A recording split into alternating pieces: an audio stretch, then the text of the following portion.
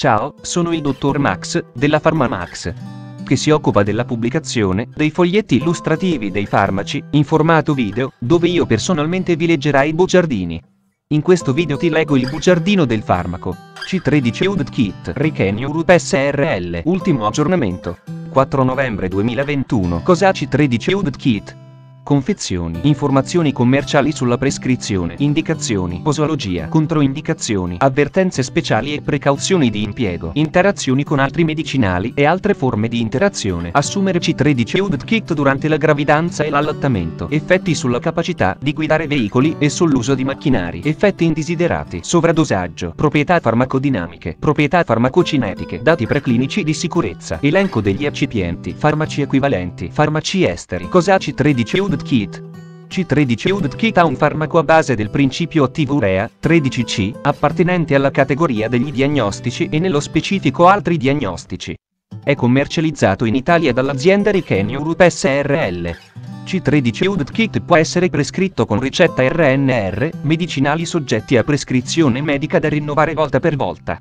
Confezioni C13 UD Kit Kit 1 FLAC 75 mg più 1 Boost 1,4 G più 2 cannucce più 4 prov. Informazioni commerciali sulla prescrizione. Titolare. Riken Europe SRL. Ricetta. RNR, medicinali soggetti a prescrizione medica da rinnovare volta per volta. Classe. H. Principio attivo. Urea, 13C. Gruppo terapeutico. Diagnostici. Forma farmaceutica. Polvere. Indicazioni. Diagnosi in vivo dell'infezione gastroduodenale per il controllo dell'eradicazione dell'Helicobacter pylori nell'adulto e nel bambino. Posologia C13 UBT Kit ha un test sull'espirato. Il paziente deve assumere per via orale una dose di acido citrico, come pasto presomministrato al test, ed una dose di urea marcata con 13C disciolti in acqua. Il test prevede una singola somministrazione. L'esecuzione del test richiede circa 40 minuti. Il paziente deve essere a digiuno da almeno 6 ore, preferibilmente per tutta la notte. La soppressione dell'Helicobacter pylori potrebbe fornire risultati falsi negativi. Pertanto il test dovrà essere ripetuto dopo almeno 4 settimane di sospensione della terapia antibatterica sistemica e 4 settimane dopo l'ultima somministrazione di inibitori della secrezione gastrica, che potrebbero interferire con la presenza dell'Helicobacter pylori. Questo è particolarmente importante dopo la terapia di eradicazione dell'Helicobacter pylori. Eseguire l'esame con il soggetto a digiuno, a riposo, senza bere, senza mangiare e senza fumare. Sciogliere l'acido citrico in 200 ml di acqua. Far bere metà del contenuto, 100 ml, della soluzione immediatamente prima di effettuare il primo prelievo di aria espirata, T0. Sciogliere l'ureaci nella soluzione rimasta, 100 ml, e farla bere completamente mentre si fa partire il cronometro, T0. Effettuare il secondo prelievo d'aria espirata dopo 30 minuti, T30. Tecnica di prelievo dell'aria espirata. Provetta da 10 ml con tappo perforabile. Stappare la provetta. Inserire la cannuccia fino in fondo alla provetta. Dopo aver chiesto al paziente di inspirare profondamente, farlo soffiare nella cannuccia per circa 15 secondi finché copyright non inizia a firmarsi una condensa sul fondo della provetta stessa. Ritirare allora la cannuccia chiedendo al paziente di continuare a soffiare e tappare la provetta immediatamente. Effettuare il prelievo d'aria espirata T0 ed A T30 in doppio. Controindicazioni ipersensibilità al principio attivo o ad una qualsiasi degli eccipienti accertata o sospetta infezione gastrica o gastrite atrofica, per possibili interferenze con il test. Avvertenze speciali e precauzioni di impiego. In alcuni casi, il test può dare dei falsi negativi.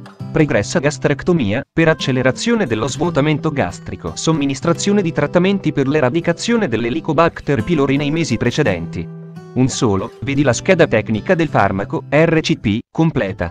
Accedi al sito www.codifa.it. Interazioni con altri medicinali e altre forme di interazione non sono note interazioni con altri farmaci. Ma il test sarà influenzato da tutti i trattamenti che interferiscono con la presenza dell'Helicobacter pylori o con l'attività dell'ureasi. Vedi la scheda tecnica del farmaco RCP completa. Accedi al sito www.codifa.it. Assumere C13 UD Kit durante la gravidanza e l'allattamento. Posso prendere C13 UD Kit durante la gravidanza e l'allattamento? Non si ritiene che C13 UBT kit possa causare effetti durante la gravidanza, dal momento che l'esposizione sistemica all'urea 13C è trascurabile. Si raccomanda di osservare le avvertenze relative all'uso, vedi la scheda tecnica del farmaco, RCP, completa. Accedi al sito www.codifa.it. Effetti sulla capacità di guidare veicoli e sull'uso di macchinari. Nessuno noto. Effetti indesiderati. Nessuno noto. Vedi la scheda tecnica del farmaco, RCP, completa. Accedi al sito www.codifa.it. Sovradosaggio. Non sono stati riportati casi di sovradosaggio. Proprietà farmacodinamiche. Categoria farmacoterapeutica. Altri diagnostici codice ATC. V04CX, test di esplorazione funzionale. L'ureasi batterica prodotta nello stomaco da parte dell'Helicobacter pylori idrolizza l'urea in ammonio e bicarbonato.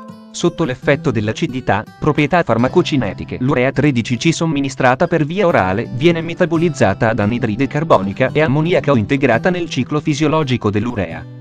L'assorbimento e la distribuzione di 13CO2 a più veloce della reazione catalizzata, dati preclinici di sicurezza. La dose di urea somministrata ampiamente inferiore alla quantità normalmente presente nell'organismo umano. Elenco degli eccipienti. Acido citrico fu. In contenitore separato. Farmaci equivalenti. I farmaci equivalenti di C13 UD kit a base di urea, 13C sono. Elico Kit. Fonte, foglietto illustrativo. AIFA, Agenzia Italiana del Farmaco. Le informazioni presenti possono non risultare essere aggiornate. Per avere accesso alla versione più aggiornata, si consiglia l'accesso al sito web dell'AIFA, Agenzia Italiana del Farmaco. Grazie per avermi seguito fino a qui, spero che la PharmaMax ti sia stata utile, iscriviti al canale e sarai informato sulla pubblicazione dei nuovi video bugiardini. Buon proseguimento, ci vediamo al prossimo farmaco esaminato.